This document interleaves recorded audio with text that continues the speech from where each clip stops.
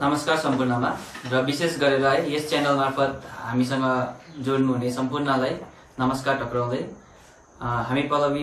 Friends क्लबको तर्फबाट the poet idol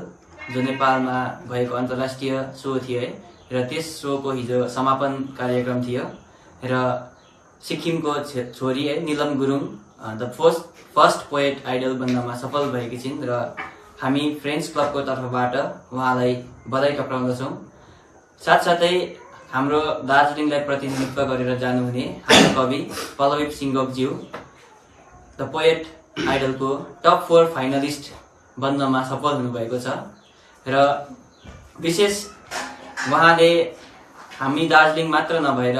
सम्पूर्ण विश्वमा नै ज जसले नेपाली साहित्यलाई मन पराउनुहुन्छ सम्पूर्णको मनमा बस्न सफल हुनुभएको छ र उहाँको प्रस्तुतिद्वारा है नेपाली मतलब कविता साहित्य जगतमा उहाँले एउटा नयाँ आयाम नै थप थप्नु भएको छ र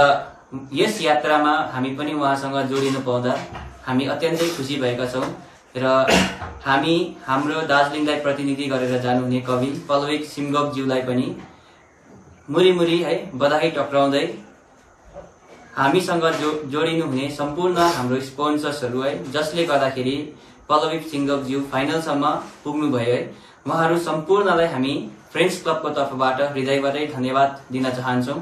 र विशेष गरेर हाम्रो क्षेत्रीय सरकार है जिटिए जसको सहयोगले गर्दाखेरि उहाँ फाइनलसम्म पुग्नु सफल हुनुभयो। साथसाथै दार्जिलिङका हाम्रो पार्टी अध्यक्ष अजय एडवर्डज्यू उहाँले हामीलाई फर्स्ट एपिसोडदेखि नै एभ्री एपिसोडमा सहयोग गर्दै आइराख्नु भएको थियो। उहाँलाई पनि हामी विशेष धन्यवाद दिन चाहन्छौँ। साथसाथै विभिन्न एनजिओसहरू विभिन्न स्कुल्स कलेजेसहरू हाम्रा एसएचजी ग्रुपहरू सङ्घ संस्था समाजहरू लगायत अन्य व्यक्ति व्यक्तित्वहरू जो जसले हामीलाई हामीसँग जोडिएर यो पल्लवी फ्रेन्ड्स क्लबको अपिललाई है